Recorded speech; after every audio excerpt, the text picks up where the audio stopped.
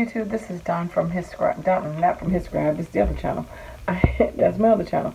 This is Don from Be Creative. So, I got a tiny little haul from the Dollar Tree.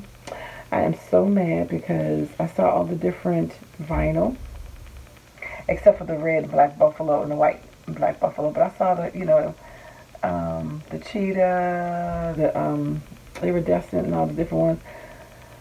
And I didn't get it. And then my girl Lisa from this Little Scrappy showed it, and I was like, oh, I should have got it.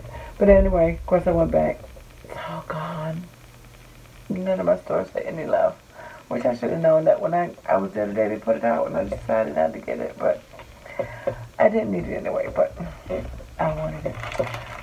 Just like I didn't need any of this, really.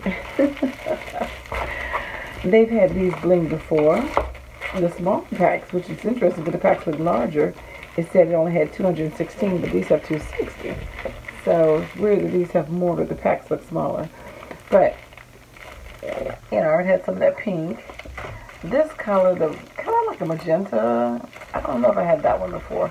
So I did definitely want to get that one because I don't have, have it. Of course, you know, can always use more pearls. I know I have this one. I know I have the red. But this green, I don't think I have this shade of green. So the green and the purple, purple colors were new, but the other ones, I've had those before. But I picked them up. I had that before, I just picked up another pack. These are repeat the numbers and the wood letters, because I got a project and I'm trying to decide. I already have some of these, but I just got some duplicates. Um, some trash bags from a craft room. Finally saw some of the markers, the Sharpies, but these are fine. So I just got some of these different colors. And they had ultra fine as well. Like this is an ultra fine. Excuse me. God, my lighting is so horrible. I don't even know why. Move my camera up, but anyway. So it's yellow. It's like a mauve mm, like a seafoam green. This is orange. Kind of like a, not quite a periwinkle, but kind of like a periwinkle. Oh, this is mm, chartreuse maybe, I don't know. It's a lavender. So, whatever. You made up those colors if they weren't correct. But they was were the um, colors that I found. I did get this one sticker set, which I thought would be, I like the dimension on these, although this is hibiscus.